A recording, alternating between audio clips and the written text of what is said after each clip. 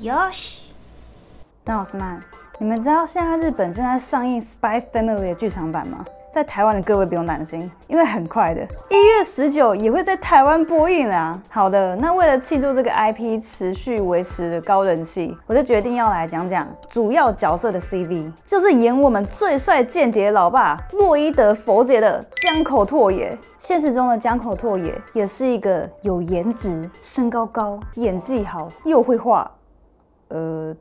的人才，除了触到灵魂深处的画力让人惊艳之外，我其实真正对江口留下印象的是因为花江的频道，花江都会邀请江口还有小叶三个人一起录游戏精华，那时候才知道，哦，原来江口是个宝藏男孩来着啊！这周他就演的间谍加加酒嘛。黄昏低沉稳重的声线征服了不少迷妹，但其实他在刚出道的时候还比较常配少年角色，一直到他的演技比较成熟的时候，开始尝试更多角色之后，才渐渐变成大家比较熟悉的嗓音。那我们就来看看江口拓也是怎么样成为人气声优的心路历程吧。不过老样子，先来提醒一下各位，我们的老朋友电子书平台 b o o k 有新活动了，史上最爆笑的女性约炮漫画《梯子啪啪走》第二集，电子书和纸本同步上市，《梯子的奇妙约炮旅程》第二弹跨出东京再出发，这次与波沃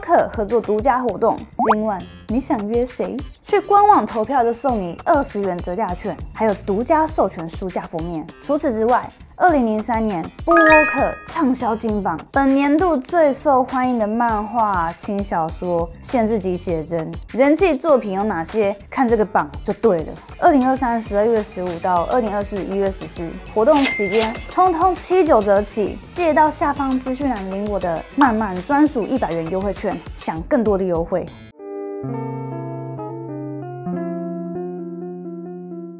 出生一九八七年的江口拓也，从小就喜欢看动画、漫画和打游戏。高中二年级的时候，因为在深夜准备考试时，无意间听到了小野坂昌也的广播节目，而开始对声优这个行业产生了兴趣。小野坂昌也也是个已经快要入行四十年的老牌声优了，演过《网球王子》的桃城武、召唤恶魔的阿萨谢尔，看到阿萨谢尔就知道是个狠角色了。那时候的江口有一部非常喜欢的作品《星空的邂逅二》。这部作品是一部 S.F 青春学园恋爱剧。他本人说，可能是因为故事里的校园生活是他没有体验过的，所以他非常沉迷于这部作品。然后我就好奇去查了一下，里面除了外星人、御姐、萝莉等多重元素之外，还处理了三角关系、师生恋、婚姻等议题。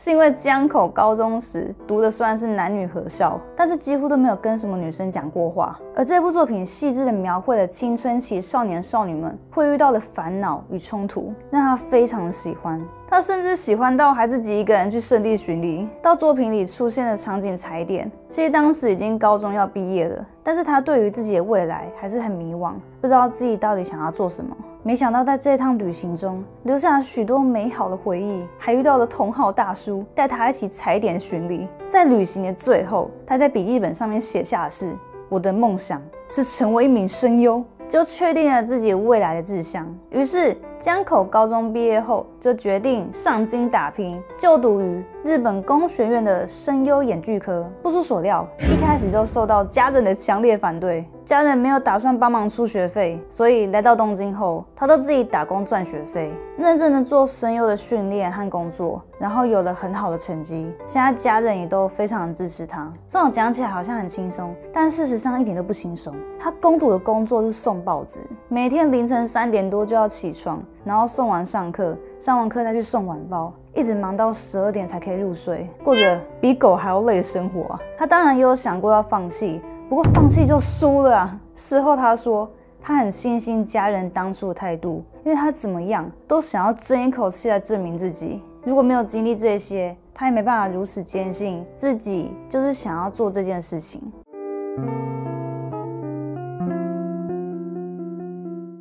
一边念书一边做声优的训练与工作。坚持了两年之后，二零零七年，在二十岁的时候，参加了由声优事务所八十一 Produce 举办的公开甄选，并且从一千多位参赛者中脱颖而出，成为了第一届 公开甄选的优胜者，顺利的在二零零八年的 TV 动画《骷髅十三》以没有名字的代客趴车员出道，后来就接演了《东芝一店》的配角大山治。いや、無事だったらいいんだ。昨日みっちょんとこ泊まったの？ 虽然如此，但大多都还是演些小角色。而终于到了二零一一年，首次接到了主役角色 Gothic 九成一米一角。死者の腹渡から金を生み出す錬金術師リヴァイアさん。嗯，听起来还是很路人。但不过配完的隔年，他就拿下了第六届声优奖的新人男声优奖，立刻证明自己是很有实力的。而接下来，他也开始利用自己的声音特色，拿下来更多的。 配角，《刀剑神域》只在第三话出现的德加，飞弹的雅利亚不知火亮，以及甚至连名字都没有的，就有许多网友表示，现在回头看才发现，自己以前原来早就看过江口配音的作品啊。那时候要说他的声线特色嘛，就是没有特色，也是因为没有什么特色，所以什么都可以演，所以他就到处演。其中也有比较有名的配角，像是影子篮球员的小金井胜二。じゃあつまりこいつが奇跡の世代まさかレギュラーじゃ妖虎扑 SS 杜离万里おいてめえら俺の方がワールだぜ綿貫静かにしろ排球少年赵岛游二 最近的话就是葬送福利连里修塔尔克大哥ハンバーグ誕生日だろ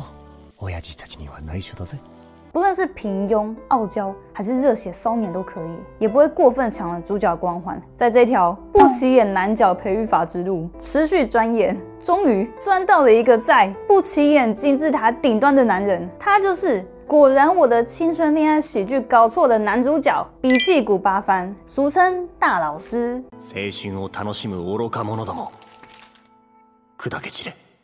看似富有深度，其实又有点危险的中二发言，加上猫狗党争之力发威。二零一三年之后，果青迅速在宅圈窜起，虽然身为女主们的早见沙织、汉东山奈阳更红，但江口拓也在这个时候累积了一定的人气，尤其是在男生之间。 因为大老师在剧中总是会用他的人生哲学，说出了大量的名言佳句，让果粉把比气谷奉为人生导师。但因为独角戏多，所以每一次的独白都是考验江口演技的时候。青春とは嘘であり、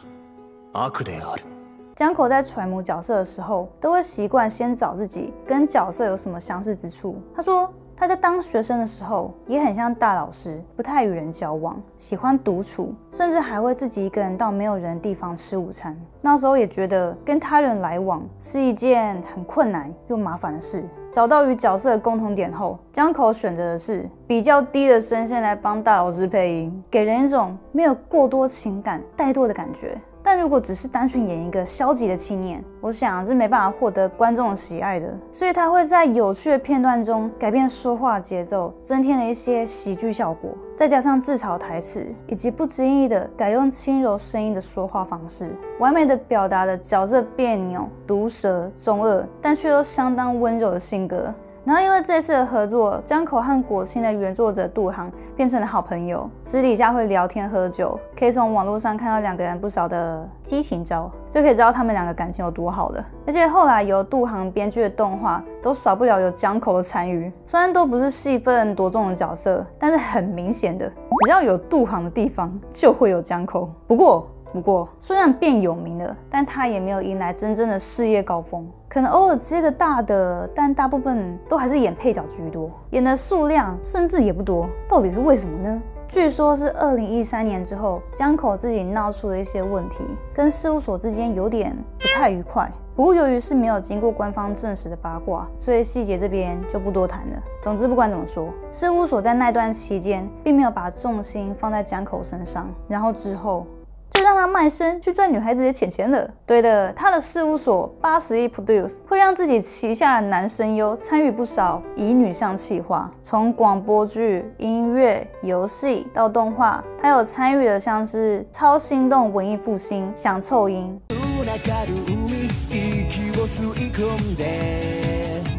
Idolish Seven 里面的六明治。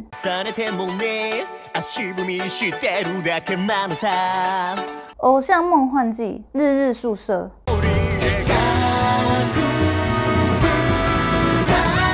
等等，还有很多 idolish 的六米指，我觉得就是一个蛮有代表性的角色。虽然讲话怪腔怪调，但这完全不影响粉丝对角色的爱。江口的诠释完美的展现这个对自己充满自信、自恋的美男子的性格，也让网友们感觉到角色独有的性感。つ置き私の体目当てですなんで2割狙いなんだよ呃，好啦，其实我逼自己不要笑。不过那几年江口也不是没有突破，这次找资料我才发现，原来《暗物语》的钢铁猛男也是他配的。すなよ先週この辺で不審者が出たって言ってたろ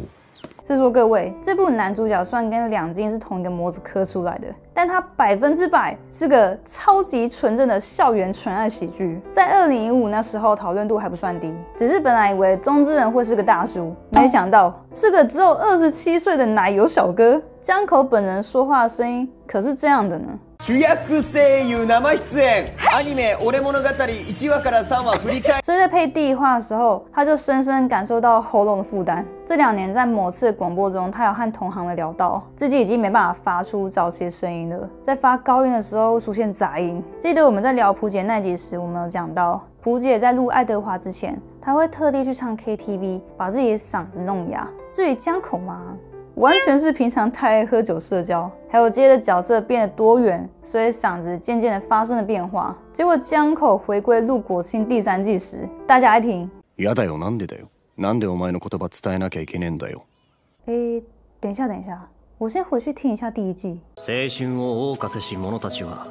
常に自己と周囲を欺き诶，大叔你谁？不过往好的方面想，就是他的路线广了，从一开始的少年意、高音、 热血、清爽，声线渐渐的成熟，往低沉、阳刚的方向发展。关于我转生成史莱姆这档事的苍蝇，こんなところまで出向くのは異常ですので取り急ぎご報告をと Given 被赠予未来的韦秋燕，上野山もねあいつ星映ってるけど2教科だけだろ我自己也觉得，从这个时候他才渐渐找到自己的定位，所以，所以 终于拿到了一个又主流又有热度集帅气于一身的角色。誇らしい気分だよくやったな 江口在揣摩这个角色的时候，发现黄昏的个性跟他一点都不像。黄昏事事要求完美，但是他自己个性是很随性的，可以说是完全相反的两个人。不过个性不同，对他来说反而比较容易找到角色的特点，所以整个揣摩过程都蛮顺利的。而且他还想到，他的妈妈每次才骂完他，都可以马上用很温柔的声音接起电话，那种瞬间变成另外一个人的感觉，让他体悟到妈妈居然也是个声优啊！没。每个人在生活中其实都拥有不同的面相，甚至扮演着不同的角色。江口因为诠释黄昏多个面相诠释的很到位，让他获得了二零二三最佳主演声优赏，是入行十五年以来除了新人奖之外第一次拿到了大奖。而且他还拿下了被网友票选的年度最活跃声优，一举成为双冠王。他的女儿总崎敦美也跟他一样赢得了双冠，再次印证了《Spy Family》的高人气。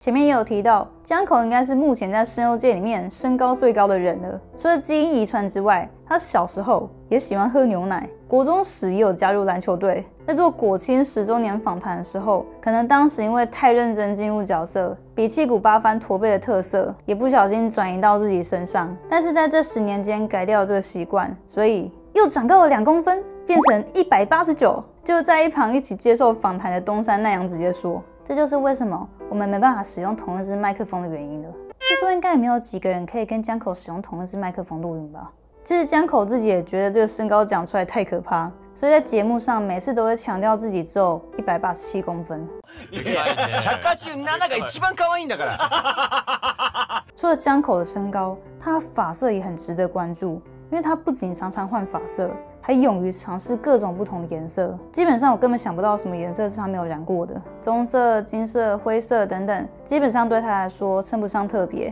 正绿色、正红色。蓝色、绿色等等鲜艳的颜色，他也是没有在怕的，甚至还染过独角色的漂亮梦幻发色。只能说，脸长得好看，怎么样都好看。江口说过，他在学生时期跟大老师一样，几乎都是独来独往，喜欢自己坐在教室的角落独处。但说不定他自己根本没有发现，自己根本从高中时期就已经是大家的宠儿。江口这个姓氏从以前开始就有一个莫名其妙的诅咒，就是只要名字被写在黑板上，一定会有人去把“江”这个字旁边的三点水擦掉，变成宫口拓也。这位老司机们应该就不用解释了吧？再加上他高中时候也是学校的学生会长，因此宫口会长这样的爱称就此诞生。此时的我只想问，网址在哪里？进入声优界后，江口也意识到，如果要全面的建立角色，就必须和他人多相处，接触到更多的人，才能了解到人所拥有的可能性。所以就结束了孤独一匹狼的模式，认真的社交。因为他的个性有趣随和，总是被前辈们关爱着，甚至连同辈也喜欢捉弄他，算是声优界中少数同时前辈后辈都会欺负的对象。不论是在工作室还是私底下，他都一定会被欺负。我觉得是因为每次江口被欺负的时候，他都不会生气，反而都会有种意想不到的反应，常常惹得大家大爆笑。像是在《声优夜游》里面就可以看到，有时候他被要求做的事情都很莫名其妙，但他都会先很认份的做，然后做完才发现，诶，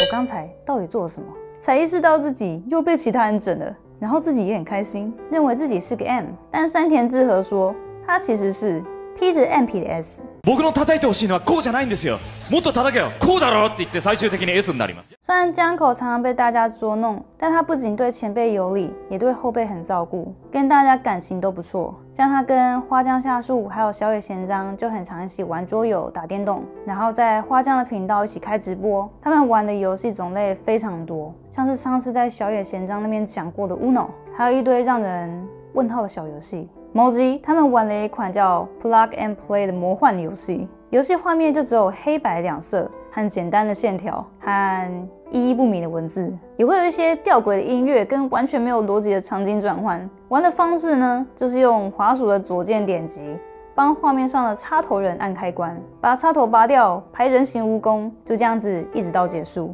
除此之外就没了。可是奇怪，看他们玩。好好玩哦！三个人的效果都超好，都会用自己的声优专业来服务粉丝，观众的反应也都很好。于是江口、小野就变成了频道上的固定来宾。我想应该有蛮多人是从这边开始喜欢上江口的。虽然江口上节目时都给人家一种随性轻松的感觉，但是他对于工作可是一点都不马虎。他在揣摩角色时，总是会从身边的所见所闻，感受到的一切当做灵感，为了塑造一个有魅力的角色。而想尽办法将这些素材灵活融入在角色里，并且不停地思考如何让角色在动画的虚构世界里，同时不失去人性。从一开始不确定自己的目标，到不顾家人反对自己辛苦打拼，再到成为声优，都能从他的经历中感受到他的进步，并且在今年获得的第十七届声优奖。成为声优后，一改以前独来独往的生活模式，开始感受到接触不同人事物的乐趣。